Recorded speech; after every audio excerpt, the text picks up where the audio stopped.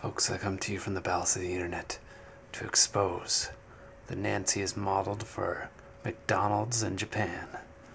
Take a look at this convincing evidence which I finally found again.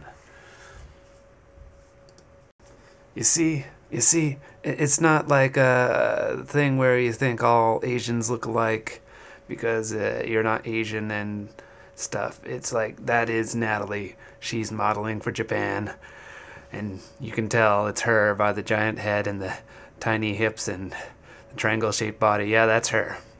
That's Nat.